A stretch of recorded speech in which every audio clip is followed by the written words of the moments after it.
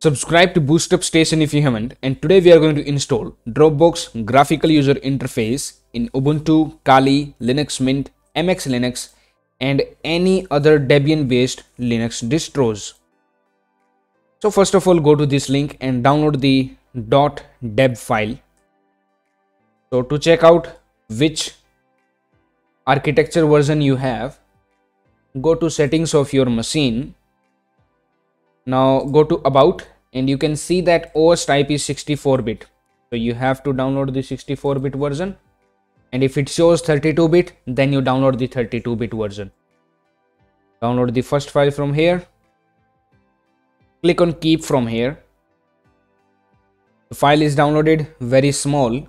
Click on it. It will open with the ubuntu software center. And here you click on install now type your user password and press enter. Now it will download the required packages and install it for you. Successfully installed. And here we have one pop-up also. Says that dropbox requires nautilus to be restarted. So click on restart nautilus. Click on next now click on start Dropbox. And if it shows you such type of installation pop-up, you have to click on OK to install it. So let it finish downloading. Let me close this Ubuntu Software Center. So if it gets stuck here, cancel it and let us start Dropbox again. Click on OK and now it will proceed with the downloading of Dropbox. Download is 100% complete. Unpacking and installation is being done. Successfully installed. You can see in the top bar here and it has also opened login page into your default browser. Now type your email address and the password and make sure this remember me is checked. After filling the details, click on sign in.